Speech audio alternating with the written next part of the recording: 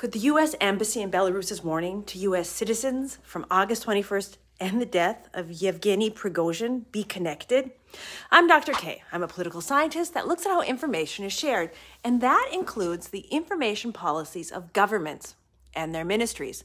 The U.S. Department of State is responsible for America's foreign policy and foreign relations, and they apply a no double standard policy to important security threat information. That means that they share the same information with the official U.S. community, meaning embassy employees and their families, as it does with the non official U.S. community, like Americans living in a country. If a post or embassy has information about potentially dangerous situations, it evaluates if the potential danger could also affect private U.S. citizens or nationals, and it shares that information creating the same standard of information availability. If you'll think back to January and February 2022 in Kiev and the rest of Ukraine, first, U.S. embassy families were given the option of leaving. The next step was the withdrawal of non essential employees, all while the U.S. Embassy was urging its citizens to leave Ukraine. Many Americans and Ukrainians were watching the U.S. Embassy's social media channels for information.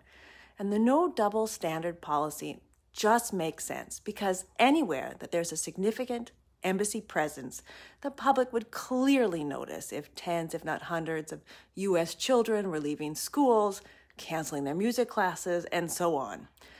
The no double standard policy simply opens a door to information that already has a window in it and that people are looking through. However, the U.S. Embassy does differentiate between security information and intelligence.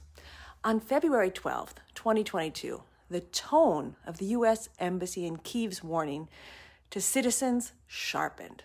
The U.S. Secretary of State personally urged Americans to leave Ukraine in a press conference, and the U.S. Embassy was calling Americans that it knew were still in the city. The tone was a lot like the warning issued in Belarus on August 21st, 2023.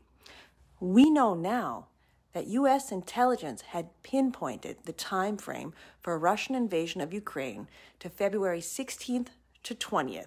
It would be a safe assumption that between February 11th and February 12th, 2022, the U.S. shared some of its intelligence with other countries.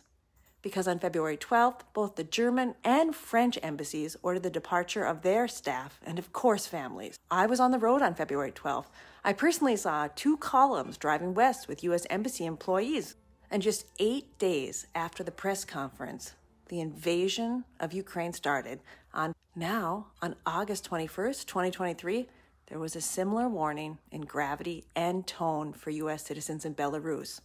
Two days later, on August 23rd, Yevgeny Prigozhin, the founder of the private military company whose mercenaries relocated to Belarus after a failed coup, was killed in a plane crash leaving Moscow. At the end of July, Ukraine's state border guard estimated that there were about 5,000 Wagner mercenaries in Belarus. Did the U.S. have intelligence about the plan to kill Yevgeny Prigozhin?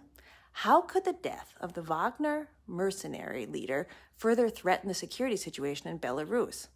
Remember, the Belarusian president, Alexander Lukashenko, promised Prigozhin and all of his Wagner soldiers safe haven in Belarus.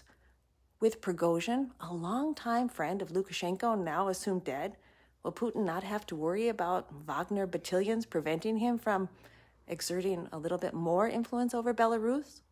Will Putin try to take over the Wagner mercenaries and direct their energy again at Ukraine? Lithuania's president, in a statement on August 24th, said his country, which borders Belarus, is no safer after Prigozhin's death. If this situation mirrors the one in Ukraine in February 2022, there may be more news coming soon.